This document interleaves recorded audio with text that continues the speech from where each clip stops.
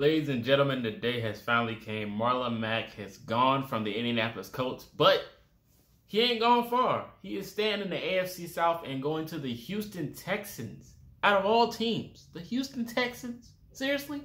Now, some people may wonder, oh Lord, if Marlon Mack can stay healthy, he probably is going to torture us. And I totally agree with you 100% because Marlon Mack is an exceptional. He's a very good running back, very talented when healthy. The one cut and gone, the elusiveness, the way to see the field, the way to switch lanes, the switching gears. Marlon Mack is a dog when healthy.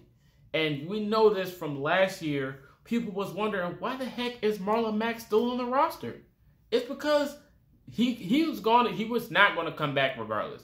So I've seen plenty of tweets of people talking about if we can bring back Marlon back for one more season and utilize him and switch Nyheim Hines to wide receiver, yada yada yada, all these things. It wasn't just one person; it was multiple people that said things like this.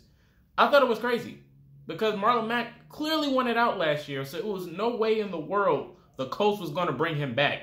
Just as simple as that. So we knew he was gone. So we just sat him out the whole season and just waited for it to be over so he could just be a free agent. Simple as that. And now that he's in Houston, I wish nothing but the best for Marlon. I mean, like, it is the Houston Texans. They're not going to win the division.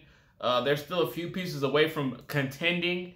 But, like, they run the football by committee no matter what. I mean, we've seen it last year. They put up some pretty decent fights, even though they were a terrible team. But running the football has to be the key in Houston.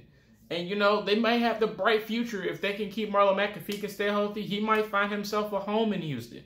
So, I mean, the Texans are the Texans.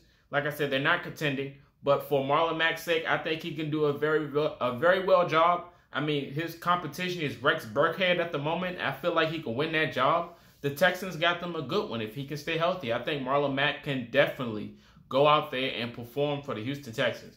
Now, when it comes to playing the Colts, most people think he's going to go out there and dominate the Colts.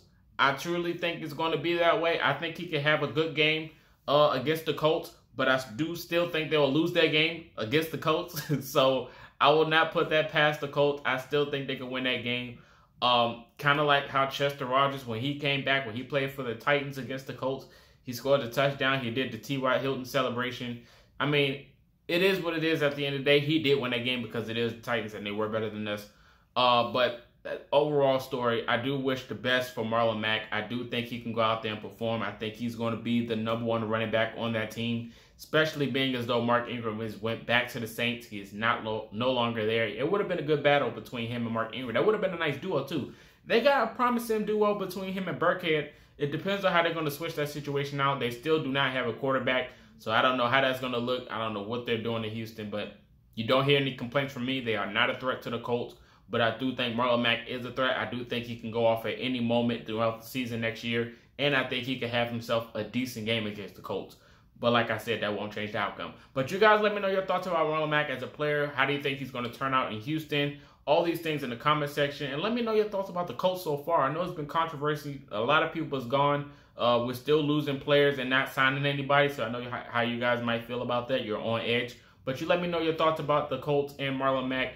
Um, and all these things in the comment section. I will be back. Uh, and you've been ColtureShock.